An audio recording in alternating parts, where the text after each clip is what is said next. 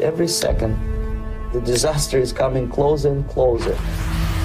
The danger is real. Hey you guys, the new Call of Duty 2020 teaser trailer just dropped today and it has been confirmed that the actual trailer for Black Ops Cold War will be revealed on the 26th of August. With the trailer we can finally be expecting some gameplay and hopefully some weapon and map reveals that are going to be in the game. The teaser trailer today featured a man named Yuri Bezmenov and from what I can understand from Google just quickly getting some information, this guy used to be a KGB operative for the Soviet until he abandoned them and relocated in Canada. The teaser trailer starts off with him basically telling the US they need to realize that they're in a state of war, and he claimed that the Russians had a spy named Perseus sneak into Western intelligence to gain information to help the Soviet Union dominate in the arms race. Yuri Bezmenov had some really chilling words, and Treyarch definitely made sure to include them in this trailer. His dialogue in the trailer is something that got some people's attention over the years in the Cold War, where he basically explains the power of of a nation and how it can have an effect on a mass amount of people just by basically brainwashing them.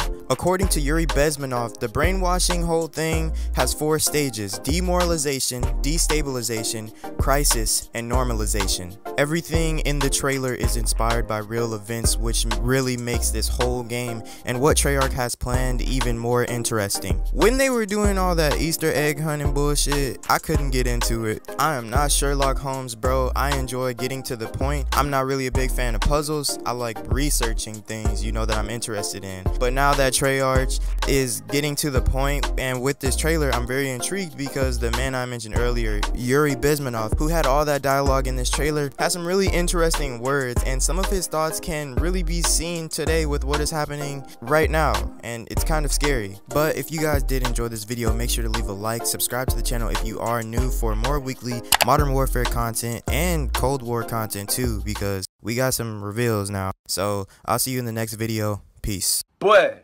don't get smoked.